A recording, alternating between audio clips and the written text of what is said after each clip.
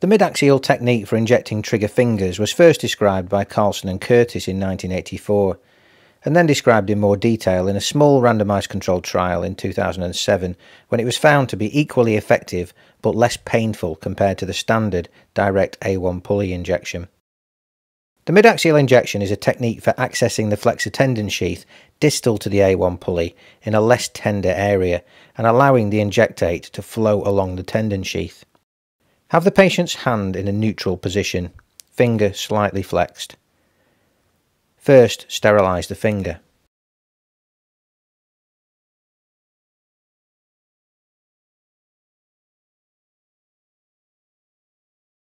The needle access point is found by dividing the finger into half along the proximal phalanx.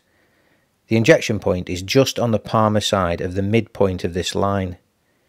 If we fill in the position of the phalanges and the flexor tendon, then draw in our imaginary midline and needle point, we can see that the needle tip should enter the flexor tendon if we angle it along the midline towards the base of the finger.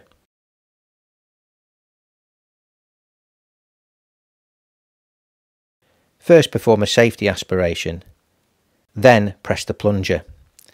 If the needle tip is embedded in the tendon, then the injection won't flow so slowly withdraw the needle while still keeping pressure on the plunger.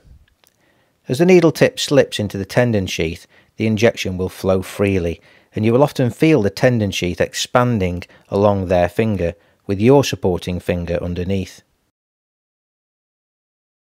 And that's the mid-axial technique for injecting trigger finger.